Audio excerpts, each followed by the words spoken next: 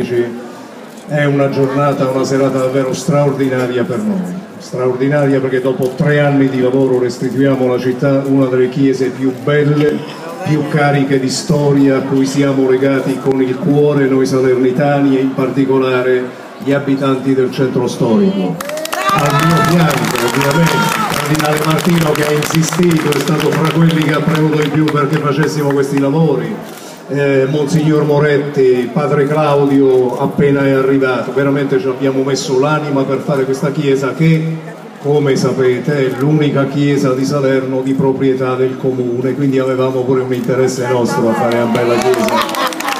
Allora, abbiamo recuperato veramente un gioiello, ha parlato l'architetto Carluccio, veramente è stato un lavoro complesso. Abbiamo rimosso prima il solaio di Calpestio per fare i lavori archeologici, vedrete quando entrerete, abbiamo lasciato a vista alcune tracce delle vecchie mura della città, preesistenze alla chiesa del 400, veramente un lavoro straordinario. Troverete anche delle cose eh, simpatiche e familiari, immagini di vecchi parroci che voi trovate nelle strade della città, via Valerio Laspo chi è sto Valerio Lassi? Era il parroco dell'Annunziata. Quindi i ragazzi non lo sanno. Marino Paglia, insomma alcune delle strade che abbiamo intitolato un po' questi parroci eh, ricordano parroci, parroci dell'Annunziata. Abbiamo fatto delle cose molto belle. C'era un organo meraviglioso dell'880, lo abbiamo res restaurato e entrerà in funzione credo fra, fra una cinquantina di giorni se, se, ho letto bene la nota che mi hanno detto la sovrintendenza veramente abbiamo rifatto la parte linea veramente un lavoro molto attento e molto bello. Poi con calma eh, andrete uno alla volta su, attorno alla volta dove c'è la ceramica le ceramiche di Giancapetti è una meraviglia. Quando vedete quella ringhiera e vi affacciate avete una vista mozzafiato di Piazza Mendola, della villa comunale, del comune, è una cosa incredibile con il castello d'Areche dietro. Allora qui si legano le memorie più sacre della nostra città, le memorie di quelli che abbiamo raccolto qui quando c'è stata l'alluvione, quando il fango arrivava qui dentro la chiesa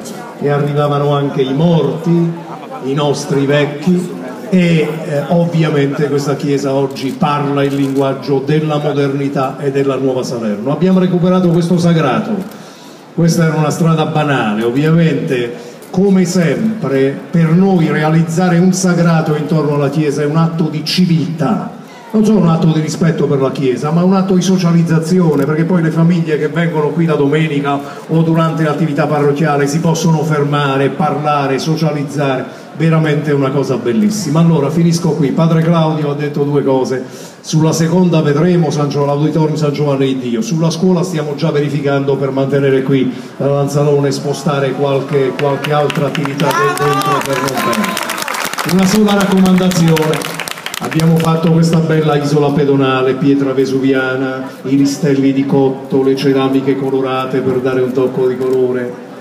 Non mi fate trovare i motorini parcheggiati o le macchine perché vi... non posso scomunicarvi, io non so, vedete voi chi deve farlo. Noi passiamo alle vie di fatto, che nessuno si permetta, lo dico ai cittadini del centro storico, anche per non dare fastidio poi agli abitanti del palazzo è una cosa bellissima che serve a dare dignità alla Chiesa e serve a fare incontrare le famiglie, che nessuno si permetta di mettersi qui a fare cose incivili. Per il resto un grande abbraccio a tutti quanti voi. Ciao!